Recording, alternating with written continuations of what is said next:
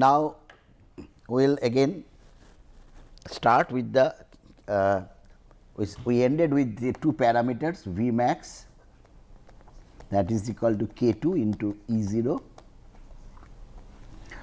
and we have k m that is equal to what we have uh, seen that k m is equal to k minus 1 plus k 2 divided by k 1 okay. And k m has a concentration unit okay. concentration unit. Now, if you plot the initial velocity, if you suppose take various um, substrate concentrations, okay, keeping the enzyme concentration constant. Suppose you have taken a constant concentration of an enzyme and you add different substrate concentration S 1, S 2, S 3 and determine the initial velocity for each of these reactions. Okay. You can determine and these initial velocities will be different for for the, the different uh, different values of S. Okay.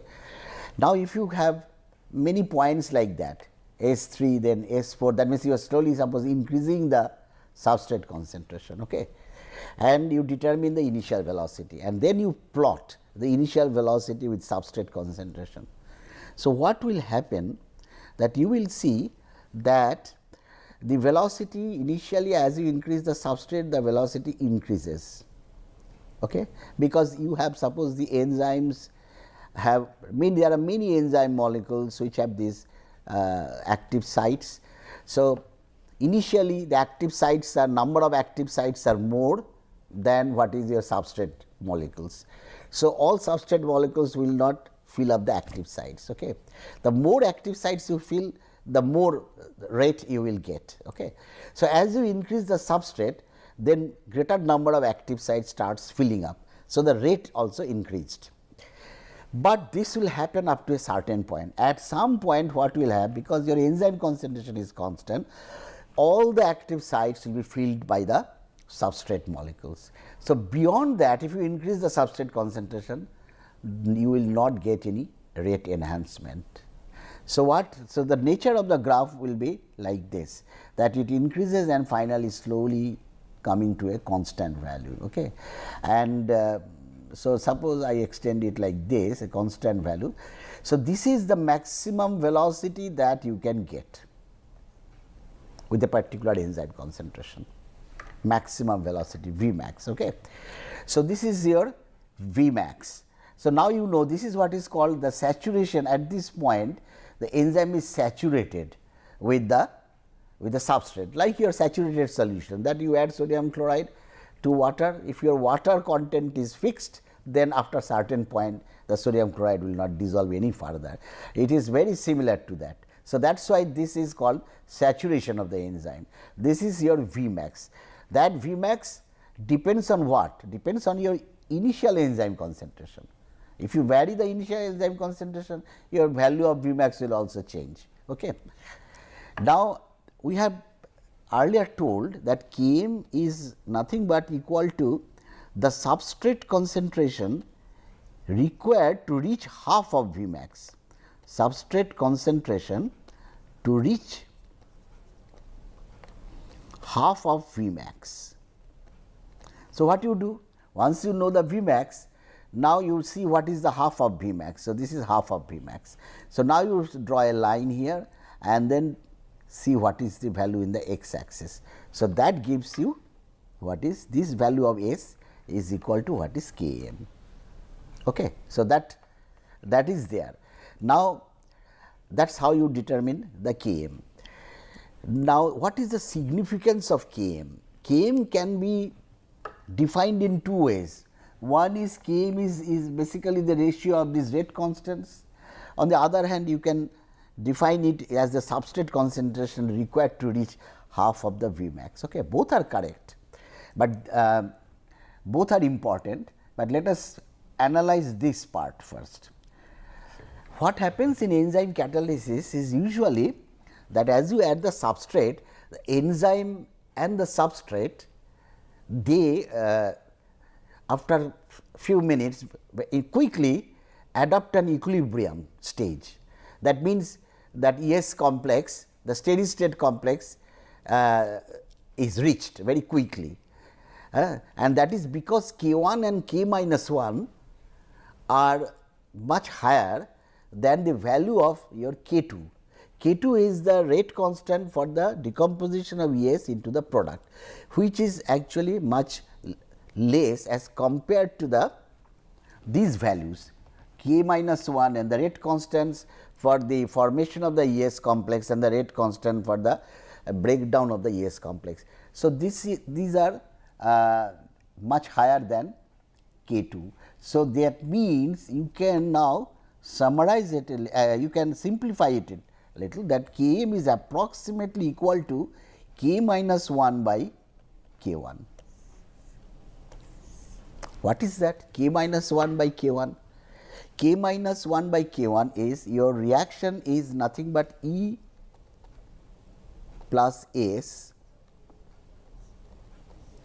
going to ES and that is going to E plus P. This is the reaction scheme. So, this is K 1 and this is K minus 1. So, K mi usually K 1 by K minus 1 is the equilibrium constant if we consider from left to right. Now, here it is K minus 1 divided by K 1 that means, it is the dissociation constant now. Earlier K 1 by K minus 1 was basically association now, k minus 1 by k 1 is the dissociation constant of the ES complex. So, that means k m is also roughly equal to the dissociation constant of the ES complex. What does it mean then?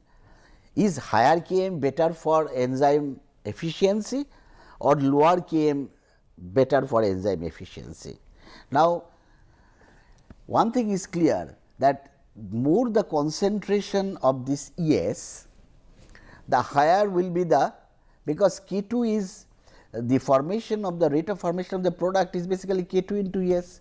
So, if you have high concentration of ES, if you can maintain higher concentration of ES in the system, then you will have higher turnover of ES into the product. Okay. Now, if the dissociation of ES to E plus S is very high, that means the association is low, that means your ES concentration is low, that means your rate of the reaction will ultimately will be low. So, the enzyme will be less efficient. The, and on the other hand, if Km is low, that means your dissociation is low and your association is high. If that be the case, that means your turnover to the product will be ultimately higher. So, for an enzyme reaction Km is very important. Lower Km means lower Km means higher binding or tighter binding, higher binding constant. Okay. So, Km you see the same parameter can be defined in several ways that Km is the dissociation constant of the ES complex or Km is the substrate concentration to reach half of the Vmax. Okay. Okay, now, how do you really prove that the Michaelis Menten equation is correct? Hmm. As I said the earlier graph was not a linear graph, huh? it, it took a shape like this. So, so, it is very difficult to really plot a graph which is not linear. What actually we try to do always is to have a linear graph. So, we convert the equation in such a fashion that the ultimately when we plot the, plot the x and y then it gives a linear, it gives a straight line and that is much better because straight lines you can confidently confidently draw if your points are within a straight line. If they stray away a little bit like in the earlier case, it is really difficult to draw this uh, experimentally it is difficult. So, always there is an attempt to to uh, to uh, represent an equation in such a form that ultimately when we plot x and y it gives a linear graph and that is what is done by from the same equation If you take 1 by V 0, so that becomes 1 by V max that means it is S by S V max S and S crosses out. So, this is 1 by V max and this becomes K m by V max into 1 by S. This is what is called the this gives you a double reciprocal plot because what you are plotting now if you plot 1 by V 0 versus 1 by S now what will happen now that will be linear because this is now y equal to m x plus c that form. So, now you get a straight line. And this straight line what is the value here? Value of of the x axis here that will be equal to minus 1 by k m because here what? Here your uh, your 1 by v 0 is becoming 0 that means you put 0 equal to 1 by v max plus k m by v max into 1 by s. So, if you solve this you will get that s equal to because your v max v max will cancel out. So, if you solve this s becomes equal to minus 1 by k m k m. Okay. So, that means this intercept is the is minus 1 by k m. The minus value comes because it is on the other side of the x axis. Okay. So, experimentally how to determine k m that you take the enzyme concentration constant and add the substrates in different concentrations in different test tubes and measure the initial rate and then you plot 1 by V 0 that means 1 by initial rate and the 1 by against the each uh, substrate concentration, but take a double reciprocal this is what is called a double reciprocal plot or it is also known as the the, the scientists who did this the showed the way how to determine uh, or how to convert Michaelis Menten equation into a linear form. So, that is also called Lineweaver-Burk plot. Okay.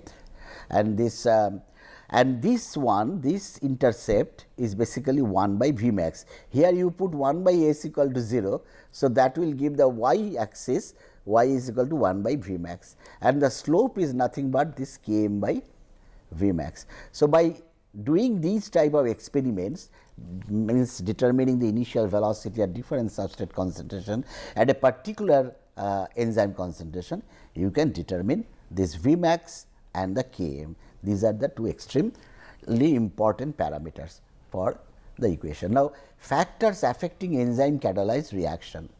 One as I said enzyme concentration, the more enzyme you have, the, the more uh, the greater will be the rate of the reaction. Substrate concentration, it depends on the substrate concentration, but you have to be careful after beyond the particular substrate concentration, you cannot increase the rate of the reaction, because you will reach the saturation point that is the at that point the velocity is what is called V max.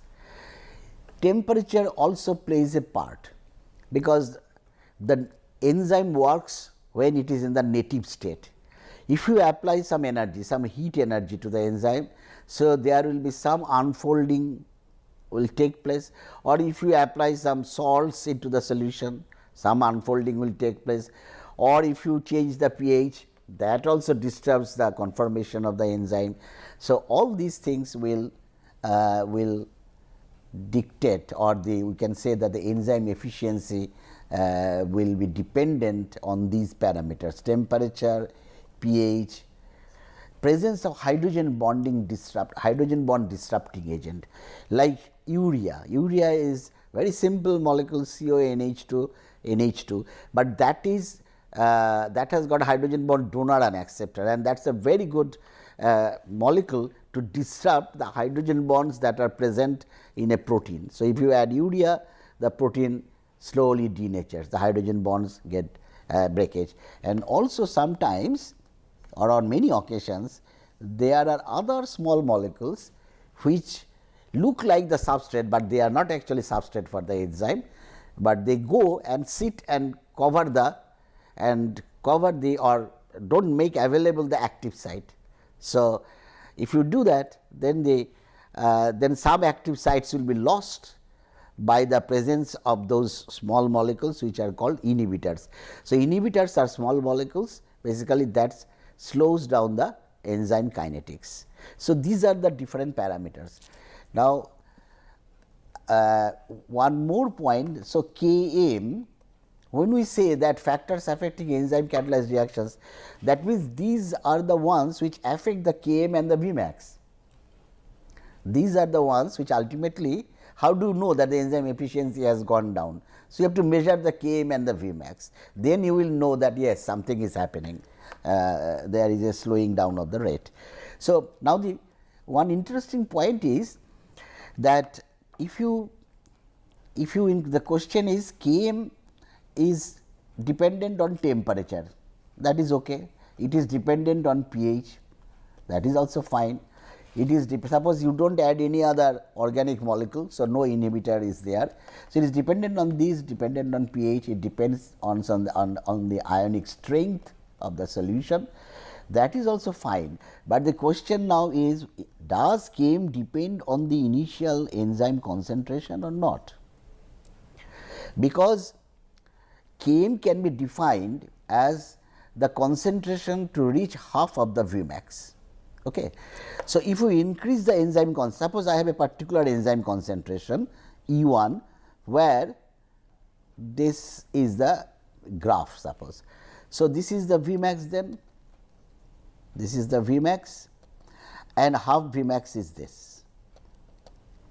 This is half Vmax. So, that means the Km is this.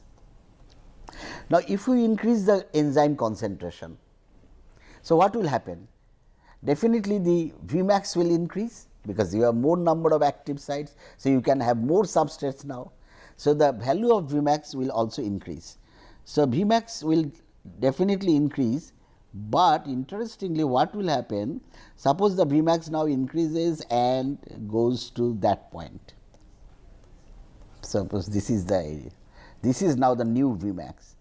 But if you calculate half of Vmax, you will see that it will cut at the same, it will give the same value of Km. So, again I repeat Vmax will change as you change the enzyme concentration, but the concentration to reach half of the Vmax still remains the same. Okay, the concentration needed to reach the half of Vmax remains the same. So, Km is independent of the enzyme concentration. Okay.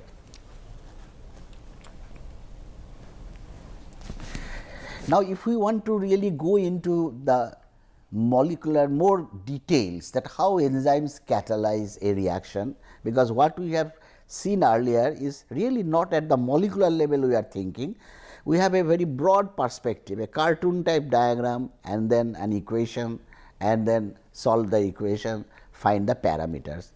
But the more intricate details is how the enzymes catalyze the reaction, what really happens there. Uh, because we have seen that substrate goes binds, but something happens to the substrate. How the enzyme is able to do that, carry on that. Okay. Now, we will just show here the mechanism of one protease which we have already encountered and that is called chymotrypsin. Remember what is chymotrypsin? Chymotrypsin is an enzyme which recognizes amino acids or which cleaves peptide bonds from the carboxy end when there is um, aromatic amino acids present in the system in the in the peptide bond. Okay. So, that means, if you have a peptide bond like this CO NH and this is the peptide and this is the peptide. So, here there must be some aromatic group and that is what is needed. So, the peptide bond that is broken is this one. So, that is what is chymotrypsin. Now, the question is in order to hydrolyze a peptide bond, what is needed that you have to have water and that ultimately has to come here and break it. But that does not happen. It is not so simple that if you take a protein and dissolve it in water, the protein never hydrolyzes. Okay. And that is very good because if proteins are hydrolyzed then our body will be so fragile all the proteins will be hydrolyzed. Okay. So, that does not happen fortunately. To have this hydrolysis by water to happen what you need is um, is some other nucleophile which can attack this carbonyl and then ultimately break this bond and then the nucleophile is released later on by water. So, that is what is the um, what is that is what is the mechanism of the the protease class of molecules. Now, there are different actually there are different proteases. Proteases again I repeat they are the enzymes which hydrolyzes the peptide bond. Okay. There are the different types of protease depending on this nucleophile. I said the enzyme must be having some nucleophile which is attacking the which is a much better nucleophile than water. Water is not a good nucleophile. What is good nucleophile is OH minus, but in the biological system at biological pH 7 or 7.2 you do not have this alkalinity which is needed to hydrolyze the peptide bond. Okay. Instead, the enzyme provides the nucleophile. So, internally it attacks and then this breaks and then finally, water comes and releases the X again. So, that this is this goes out and then uh, another molecule comes in. Now, depending on the nature of X, you have different types of proteases. One is called serine protease. Serine protease where X is basically an amino acid, uh, an amino acid containing X means X is OH, because we are talking about serine. What is serine? OH like this, okay. NH and CO. This is what is serine. So, serine OH is the nucleophile and then if serine OH is the nucleophile by which that hydrolyzes the peptide bond, then those class of enzymes are called serine proteases. Similarly, we have SH here instead of OH you can have SH and those are called cysteine proteases because SH comes from only cysteine. A third one where you do not have internal nucleophile like this, but what the enzyme provides is is a metal ion because you know that many of the addition to the carbonyl compounds are assisted by acids like Lewis acids. There are many reactions which are assisted by Lewis acids which activates the carbonyl. Okay. Similarly, metal Lewis acids are nothing but you have a metal a metal halide say aluminum chloride okay, or boron trifluoride. What happens because of the vacancy, uh, because of the uh, not the octet structure, it has not fulfilled the octet structure. So, these are got very good Lewis acid character BF3 or AlCl3. Now, in case of um, enzyme hydrolysis, this also can be achieved by simple metal ions like suppose M plus which is a zinc say so, oxygen will chelate to the zinc. As soon as oxygen chelates to the zinc, what happens? This the electrophilicity of this carbon increases. Okay. So, now in presence of metal ions, you do not need any other nucleophile other than the actual nucleophile that what you require that is water. So, in presence of metal water can come attack this this is assisted by the metal ion now, who is holding this metal ion? The enzyme is holding the metal ion. So, metal ion becomes the cofactor in that case. So, metal ion activates the carbonyl, water comes and breaks the amide bond. So, direct. These are called metalloproteases. So, we have serine protease, metalloprotease and then um, cysteine protease, but there is another category that is called the aspartyl protease. What is aspartyl protease? Where again that is um, again that is the catalyzed directly water comes and attacks the carbonyl. Okay. Again I come to the again going back to what I have said that when you have a bond if you want to break a bond involving a carbonyl I have two options. One is either use a powerful nucleophile to attack the electrophilic carbonyl carbon, break the carbon nitrogen bond or I can activate the oxygen through some processes like metal ion and then water comes and attacks. Now, if the metal if instead of metal ions if this is a proton because you know many of the again the carbonyl reactions addition of DNP, hydrazine all these are catalyzed by acids. Because the acid protonates the carbonyl and the nucleophile is the hydrazine or a phenylhydrazine semicarba uh, semicarbazide all these can attack very easily. Now, who will provide this acid? Again the enzyme. Because the enzyme can have aspartic acid where there is H plus. So, the aspartic acid proton can protonate a carbonyl of an amide bond and then water can come and hydrolyze the amide. So, these are the four classes. In one classes you are have direct attack by water which is assisted by chelation of the carbonyl oxygen either to metals in case of metalloproteases and in case of uh, aspartyl protease, the aspartic acid provides the proton source to protonate the carbonyl and then allow the water to attack the carbonyl and so the carbon nitrogen bond is broken.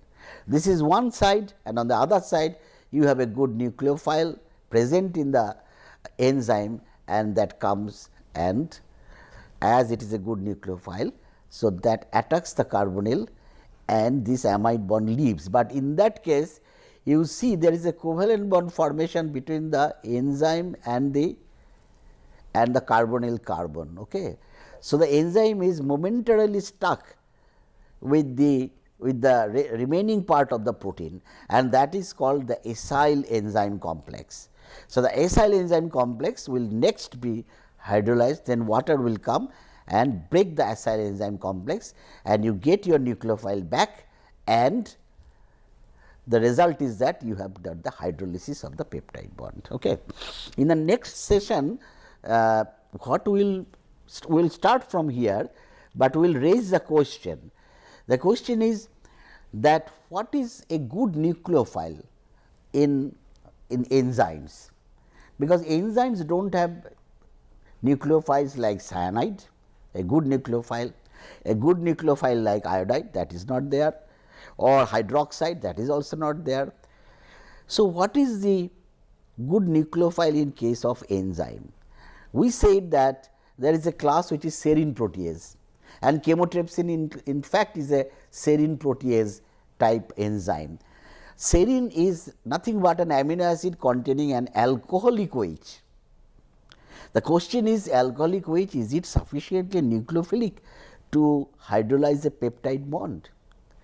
To uh, in order to answer that what you need to do so let us check I take a peptide and add some methanol because that also have alcoholic OH, but nothing happens. Okay. If you add ethanol nothing happens. So, no alcohol can hydrolyze the peptide bond. So, the biggest challenge that was posed at that time when it was discovered that serine protease utilizes serine as the nucleophile and hydrolyze the peptide bond, then the big question came that how is it possible that serine can attack a carbonyl and break a carbon nitrogen bond. Okay. So, we will stop here and we will start from this how the serine that means there is again a question of activation of the nucleophile. The power of the nucleophile has to increase so that it can attack the carbonyl. Okay. So, we will start from there that how the serine is activated and ultimately that leads to the attack of the to the carbonyl. Okay. Thank you.